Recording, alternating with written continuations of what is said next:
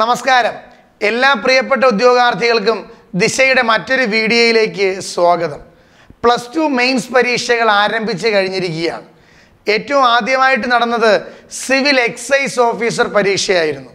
അതിനുശേഷം ഞാൻ ഇന്നിപ്പോൾ വീഡിയോ എടുത്തുകൊണ്ടിരിക്കുന്ന ഈ സമയത്ത് തിങ്കളാഴ്ച ദിവസം ലീഗൽ മെട്രോളജിയുമായി ബന്ധപ്പെട്ട മെയിൻസ് പരീക്ഷയും നടന്നു കഴിഞ്ഞിരിക്കുകയാണ്. ഇനി നിങ്ങൾ എല്ലാവരും സ്വപ്നം കാണുന്ന പരീക്ഷകൾ വരുന്ന പതിമൂന്നാം തീയതി നടക്കുന്ന ഫയർമാൻ പരീക്ഷയും ഇരുപതാം തീയതി നടക്കുന്ന സിവിൽ പോലീസ് ഓഫീസർ പരീക്ഷയുമാണ്. ഏറ്റവും കൂടുതൽ ഉദ്യോഗാർത്ഥികൾ മാറ്റുരയ്ക്കുന്ന പരീക്ഷ സിവിൽ പോലീസ് ഓഫീസർ പരീക്ഷ തന്നെയാണ്.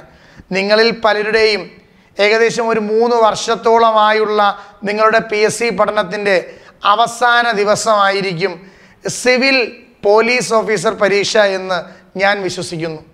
ആദ്യമേ തന്നെ പറയാനുള്ളത് ഇക്കഴിഞ്ഞ സിവിൽ എക്സൈസ് ഓഫീസർ പരീക്ഷയെക്കുറിച്ചാണ്.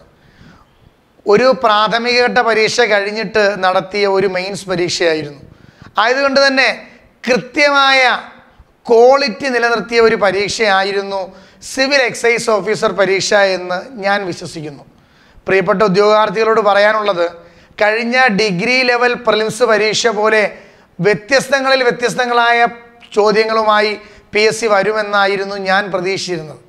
പക്ഷേ വളരെയധികം സന്തോഷമാണ് പരീക്ഷ കഴിഞ്ഞപ്പോൾ ഉണ്ടായത്. അപ്പോൾ ഏകദേശം ഒരു മികച്ച രീതിയിൽ പഠനം നടത്തിയ ഒരു ഉദ്യോഗാർത്ഥിക്ക് ഏകദേശം ഒരു അൻപത് മാർക്ക് മുതൽ അൻപത്തി അഞ്ച് മാർക്ക് വരെ നേടുവാൻ സാധിക്കുന്ന ചോദ്യങ്ങൾ തന്നെയായിരുന്നു പരീക്ഷയിൽ നൽകിയിരുന്നത്. ഇതോടൊപ്പം ഞങ്ങളുടെ സ്ഥാപനത്തിൽ പഠിച്ച ഉദ്യോഗാർത്ഥികൾക്ക് നല്ല രീതിയിൽ പഠിച്ചവർക്ക് ഏകദേശം അൻപത് മുതൽ അൻപത്തി അഞ്ച് വരെ മാർക്കുകൾ നേടാൻ കഴിഞ്ഞു എന്ന സന്തോഷം കൂടി ഞാൻ നിങ്ങളോട് പങ്കുവയ്ക്കുകയാണ്. വളരെ ചുരുക്കം പേർക്ക് മാത്രമാണ് ഒരു അറുപത് എന്ന മാർക്കിലേക്ക് എത്തിച്ചേരുവാൻ കഴിഞ്ഞത്. ഞാൻ നിങ്ങളോട് പറഞ്ഞു കഴിഞ്ഞ പരീക്ഷയുടെ ഒരു വിലയിരുത്തലും അതുമായി നമുക്കിനി വരുന്ന പരീക്ഷയിൽ എങ്ങനെ മൈനസ് കുറച്ച് പിടിച്ചു നിൽക്കാമെന്നുമാണ് ഞാൻ ഇന്ന് നിങ്ങളോട് പറയുന്നത്. ഈ വീഡിയോ കാണുന്നതിൽ നിങ്ങളിൽ പലരും സിവിൽ എക്സൈസ് ഓഫീസർ പരീക്ഷ എഴുതിയവരും അല്ലെങ്കിൽ അതൊരു പ്രാക്ടീസ് പരീക്ഷയായി എഴുതിയവരുമായിരിക്കും. ആദ്യമേ തന്നെ ഒരു കാര്യം പറയാം നിങ്ങളിൽ ആ പരീക്ഷ എഴുതിയ പലരുടെയും മൈനസ് മാർക്ക് മിനിമം ഒരു പത്ത് മാർക്കിൽ കൂടി ആയിരിക്കാം ഉണ്ടായിട്ടുള്ളത്. എന്ന് വെച്ചാൽ കുറഞ്ഞതൊരു പത്ത് തെറ്റെങ്കിലും നിങ്ങൾ പരീക്ഷയ്ക്ക് വരുത്തി എനിക്ക് നിങ്ങളോട് പറയാനുള്ളത് ആ പരീക്ഷ കഴിഞ്ഞ് സ്പെഷ്യൽ ടോപ്പിക്ക് നോക്കിയ നമുക്ക് എല്ലാവർക്കും മനസ്സിലായത് ഏകദേശം അഞ്ച് മാർക്കിനോളം പി എസ് സി സിലബസിന് പുറത്ത് നിന്ന് ചോദിച്ചു എന്നാണ് നമുക്ക് മനസ്സിലാക്കാൻ കഴിഞ്ഞത്. ഇനി വരുന്ന ഫയർമാൻ പരീക്ഷയ്ക്കും വരുന്ന സിവിൽ പോലീസ് ഓഫീസർ പരീക്ഷയ്ക്കും ഇത്തരത്തിൽ സിലബസിന് പുറത്ത് നിന്ന് ചോദ്യങ്ങൾ ഉണ്ടാകുമെന്ന് നിങ്ങളിപ്പോൾ തന്നെ മനസ്സിൽ ഉറപ്പിക്കണം. എനിക്ക് നിങ്ങളോട് പറയാനുള്ളത് ഇപ്പോൾ ഞങ്ങളുടെ സ്ഥാപനത്തിൽ പഠിക്കുന്ന ഉദ്യോഗാർത്ഥികളാണെങ്കിലും എന്റെ ഈ വീഡിയോ കാണുന്ന മറ്റ് സ്ഥലങ്ങളിലിരുന്ന് പഠിക്കുന്ന ഉദ്യോഗാർത്ഥികളാണെങ്കിലും നിങ്ങളെല്ലാവരും ഈ പറഞ്ഞ civil excise officer fireman civil police officer പരീക്ഷയ്ക്ക് ഏറ്റവും കൂടുതൽ സമയം മാറ്റിവെച്ചത് എന്തിനു വേണ്ടി തന്നെയായിരിക്കും? സ്പെഷ്യൽ ടോപ്പിക്ക് പഠിക്കാൻ വേണ്ടി തന്നെ ആയിരിക്കും നിങ്ങളുടെ പഠിത്തത്തിന്റെ ഭൂരിഭാഗ സമയവും മാറ്റിവെച്ച് അതിനു വേണ്ടി തന്നെ ആയിരിക്കും നിങ്ങൾ പരീക്ഷ ഹാളിൽ പോകുമ്പോൾ സ്പെഷ്യലിന് ഇരുപതിന് ഇരുപത് മാർക്ക് കിട്ടണമെന്ന് ഒരു നിർബന്ധം പിടിക്കരുത്. നിങ്ങൾ പരീക്ഷാളി ചെന്നപ്പോൾ ഒരു പതിനഞ്ച് ചോദ്യങ്ങളാണ് സ്പെഷ്യൽ ടോപ്പിക്കിൽ നിന്ന് നിങ്ങൾക്ക് അറിയാവുന്നത് അല്ലെങ്കിൽ നിങ്ങൾ പഠിച്ചതിൽ നിന്ന് ചോദിച്ചത് എന്നിരിക്കട്ടെ. നിങ്ങൾ ആ പതിനഞ്ച് ചോദ്യങ്ങൾ മാത്രം എഴുതണം. പി എസ് സി സിലബസിന്റെ പുറത്ത് നിന്ന് അഞ്ച് ചോദ്യം തന്നാൽ അത് നിങ്ങൾക്ക് വിധിച്ചിട്ടുള്ള ചോദ്യങ്ങളല്ല എന്ന് പറഞ്ഞ് അതിനെ മാറ്റി നിർത്തിയാൽ മാത്രമേ വരുന്ന പരീക്ഷയ്ക്ക് നിങ്ങൾക്ക് ജയിക്കാൻ കഴിയുകയുള്ളൂ. ഇത്രയും നാൾ നിങ്ങൾ സ്പെഷ്യൽ ടോപ്പിക്കിന് വേണ്ടി സമയം മാറ്റി വെച്ചു ഒരു പതിനഞ്ച് ശരി ഉണ്ടാക്കിയിട്ട് അല്ലെങ്കിൽ ഏകദേശം ഒരു പതിനാല് ഉത്തരം എഴുതിയിട്ട് ഒരു ആറ് ചോദ്യങ്ങൾ കണ്ടിട്ടില്ല ഇരുപതിൽ പതിനാലെണ്ണം ശരിയായിട്ട് എഴുതി ആറ് ചോദ്യങ്ങൾ കണ്ടിട്ടില്ല. ആ ചോദ്യങ്ങൾക്ക് കൂടി ഉത്തരം എഴുതാനായി ശ്രമിക്കരുത് പരീക്ഷാ ഹാളിൽ. അത്തരത്തിൽ എഴുതി അത് ഭൂരിപക്ഷവും തെറ്റിപ്പോയാൽ നിങ്ങൾ നേടിയ പതിനാല് മാർക്ക് മൈനസിലേക്ക് കുറയുകയും പതിമൂന്നോ പന്ത്രണ്ടോ പതിനൊന്നിലൊക്കെയോ എത്തിച്ചേർന്ന് നിങ്ങളുടെ റാങ്ക് പിറകിലോട്ട് വരികയേ ഉള്ളൂ.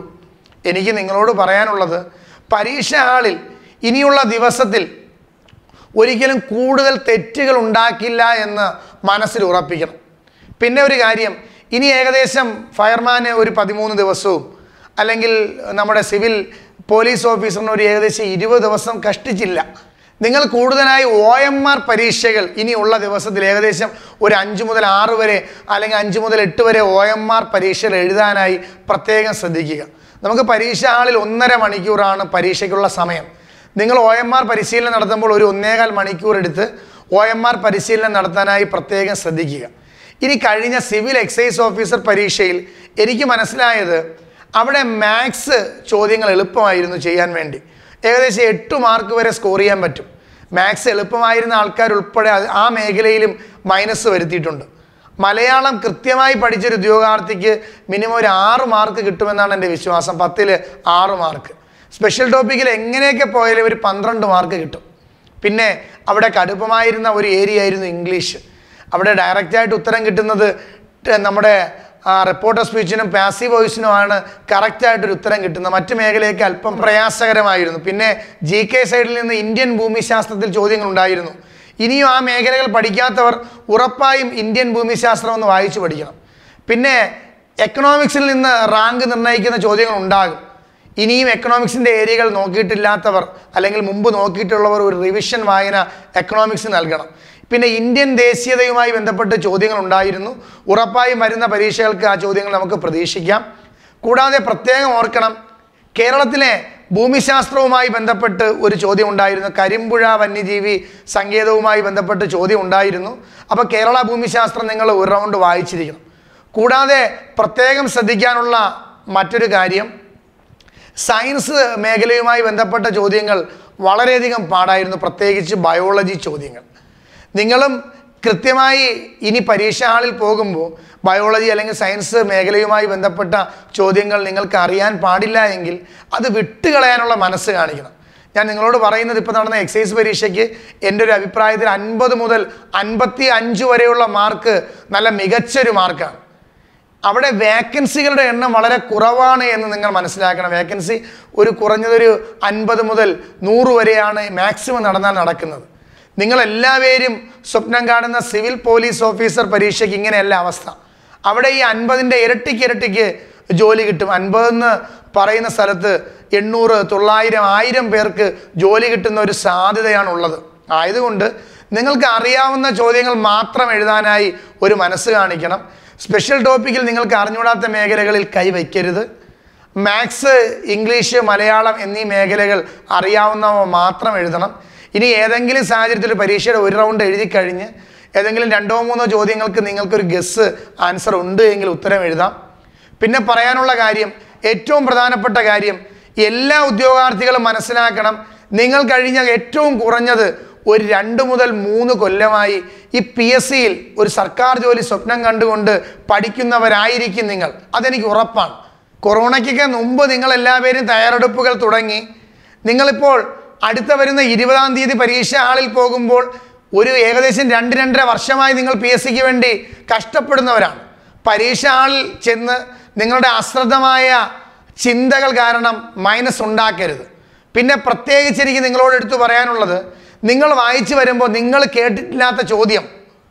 നിങ്ങൾക്ക് പുതുതായി തോന്നുന്ന ചോദ്യങ്ങൾ എല്ലാം തന്നെ മറ്റു ഉദ്യോഗാർത്ഥികൾക്കും പുതിയ ചോദ്യമാണെന്ന് ഉറപ്പിക്കണം. ആ ചോദ്യങ്ങളെ വിട്ടുകളയണം സ്കിപ്പ് ചെയ്ത് പോകണം ഇനി ഏതെങ്കിലും ഒരു കാരണവശാൽ നിങ്ങളൊരു ചോദ്യം വായിക്കുമ്പോൾ നിങ്ങൾ കേട്ടിട്ടുണ്ട്. അതിന് അതിന്റെ ഉത്തരം നിങ്ങൾ കൃത്യമായി അറിയില്ല.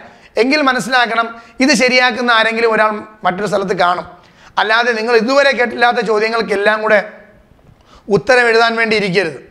പിന്നെ കറണ്ട് അഫയേഴ്സ് മേഖലയുമായി ബന്ധപ്പെട്ട് ഇനി വരുന്ന ദിവസത്തിൽ എല്ലാ ദിവസവും കുറഞ്ഞത് ഒന്നൊന്നര മണിക്കൂർ കറണ്ട് അഫയേഴ്സ് ചോദ്യങ്ങൾക്ക് മാറ്റിവെക്കണം. അവസാനത്തെ പരീക്ഷയ്ക്ക് നൊബേൽ സമ്മാനവുമായി ബന്ധപ്പെട്ട് ചോദ്യം ഉണ്ടായിരുന്നു. ആ മേഖലകൾ വീണ്ടും ഒന്നും കൂടെ വായിക്കുക. ഞാൻ നിങ്ങളോട് പറഞ്ഞ ലീഗൽ മെട്രോളജിയുമായി ബന്ധപ്പെട്ട് നടന്ന പരീക്ഷയുടെ ചോദ്യങ്ങൾ നിങ്ങൾ ഒന്നും കൂടെ വായിച്ച് പരിശീലിക്കുക. ലീഗൽ മെട്രോളജി പരീക്ഷയിലെ സൈനിങ് കോസൊക്കെ മാത്സ് മേഖലയിൽ ചോദിച്ചിട്ടുണ്ട്. നിങ്ങൾ അതിലൊന്നും പാനിക്കായി പോകരുത്. ഇനി നമുക്ക് പുതിയ ഏരിയകളൊന്നും കണ്ടുപിടിക്കാൻ പറ്റില്ല. ഇനി നല്ല കൃത്യമായി നിങ്ങൾ പരീക്ഷാ ഹാളിൽ ചെന്നാൽ മാത്രം മതിയാകും. ഉറപ്പായി നിങ്ങൾക്കൊരു ജോലി കിട്ടുന്നതാണ്. നിങ്ങളാരും റാങ്ക് നേടാൻ വേണ്ടിയൊന്നും പരീക്ഷാ ഹാളിലേക്ക് പോകരുത്. എങ്ങനെയെങ്കിലും പി എസ് സി ഒരു കട്ട് ഓഫ് ഇടുന്നതിന് മുകളിൽ ആ ഷോർട്ട് ലിസ്റ്റിൽ ഉൾപ്പെടണം എന്ന ഒരു ധൈര്യത്തോടു കൂടി പോകണം. ആരും മുൻകൂട്ടി ഇത്ര മാർക്ക് വാങ്ങിയാലേ ജോലി കിട്ടുള്ളൂ എന്ന് പ്രഡിക്റ്റ് ചെയ്ത് പരീക്ഷ ഹാളിൽ പോകരുത്. പരീക്ഷ ഹാളിന് അകത്തിരുന്ന് കട്ട് ഓഫുകൾ പ്രഡിക്റ്റ് ചെയ്യരുത്. ഏതെങ്കിലും തരത്തിലുള്ള തെറ്റുകൾ പരീക്ഷ ഹാളിൽ പറ്റിയാലും പാനിക്കായി പോകരുത്. കഴിഞ്ഞ കുറച്ച് നാളുകളായി നിങ്ങൾ പഠിക്കുകയാണ്. നിങ്ങൾക്ക് ഉറപ്പായും വിജയം ഉണ്ടാകും. പരീക്ഷ ഹാളിൽ നിങ്ങൾ മണ്ടത്തരങ്ങൾ കാണിച്ചു വയ്ക്കരുത്. കൃത്യമായി എഴുതി പോയാൽ മതി. പരീക്ഷ കഴിഞ്ഞ ദിവസങ്ങളിൽ തന്നെ നമുക്ക് എല്ലാവർക്കും എത്ര ഒരു നിശ്ചിത മാർക്ക് കിട്ടിയവർക്ക് ജോലി കിട്ടുമെന്ന് അറിയാൻ കഴിയുന്നതാണ്. കൃത്യമായി ഇനിയുള്ള സമയം മെനക്കെടുക. ഉറപ്പായും നിങ്ങൾക്ക് ലിസ്റ്റിൽ വരാൻ കഴിയുന്നതാണ്. പിന്നെ എനിക്ക് പറയാനുള്ളത് പലരും യൂട്യൂബിലും മറ്റും ഇടുന്ന കമന്റ് പരീക്ഷ കടുപ്പമായി പോയി. ഈ ചോദ്യങ്ങൾ പി എസ് സി എവിടെ നിന്ന് കണ്ടുപിടിച്ചു? ഇനിയും ഇതിൽ വലിയ ചോദ്യങ്ങളുണ്ടോ? ഞാൻ തുടക്കത്തിൽ പഠിച്ചു തുടങ്ങുകയാണ്. ഞാൻ പി എസ് സി നിർത്തുകയാണെന്നൊക്കെ പലരും പറയുന്നുണ്ട്. എനിക്ക് നിങ്ങളോട് പറയാനുള്ളത് ഒരിക്കലും പി എസ് സി നൂറിൽ നൂറ് മാർക്ക് വാങ്ങാൻ പറയുന്നില്ല. ഒരു ഏകദേശം അൻപത് മാർക്ക് ഉണ്ട് എങ്കിൽ പോലും യൂണിഫോം പരീക്ഷകൾക്ക് നിങ്ങൾക്ക് ഒരു ജോലി ലഭിക്കുന്നതാണ്. നിങ്ങളെല്ലാവരും സ്വപ്നം കാണുന്ന വരുന്ന പ്ലസ് ടു മെയിൻസ് പരീക്ഷയിൽ നിങ്ങൾക്ക് യാതൊരു തരത്തിലുള്ള പാളിച്ചകളും ഇല്ലാതെ പരീക്ഷ ഹാളിൽ വിജയിക്കുവാൻ കഴിയട്ടെ എന്ന് സർവേശ്വരനോട് ആത്മാർത്ഥമായിട്ട് പ്രാർത്ഥിക്കുകയാണ്. നിങ്ങളെല്ലാവരും വിജയിക്കുമെന്ന പ്രതീക്ഷയിൽ ഇന്നത്തെ ഈ ഒരു വീഡിയോ അവസാനിപ്പിക്കുന്നു. നന്ദി.